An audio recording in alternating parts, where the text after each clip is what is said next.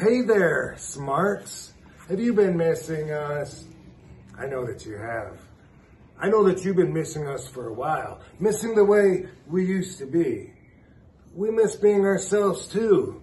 Sometimes you think Katie enjoys covering every inch of her body from head to toe? She's not doing this to protect against COVID-19. She's protecting herself against you. Do you think we enjoy sharing our ring and all of our camera time with partners that we don't need? They're just there to get a rub from me. Hey, look at these eyes. Look at these big white eyes. Do you think for one second that I enjoy being this straight? I don't. We're doing all of this for a reason. See, we're trying to prove a point to you. And you're completely missing the point. Because while you're listening to me and you're watching Katie and notice that she's completely dressed, you're imagining that she's wearing a little bit less, aren't you? It's not Impact Wrestling that chose to dress Katie like this. It wasn't Twitch TV's idea to cover her all up. No, this was you. This was your conflicting values in your head. This was a result of you and your dishonest, ingenuine way of life. See, we're not like you.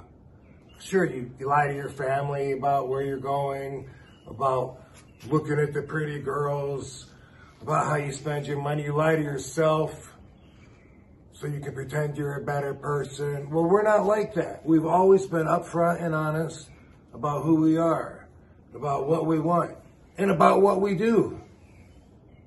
Now, that's the way we live, all right? We can handle the truth.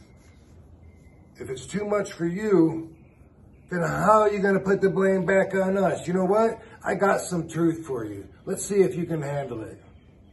You, you're the virus. You like that? Think about that for a while while you're staying home and staying healthy. And you know what? Wash your hands and while you're at it, wash your mouth out and make sure you get both sides that you're talking out, you double talking hypocrites. And don't forget to wear your mask. oh, baby, they got that covered. Whether they know it or not, they've been wearing masks a long, long time.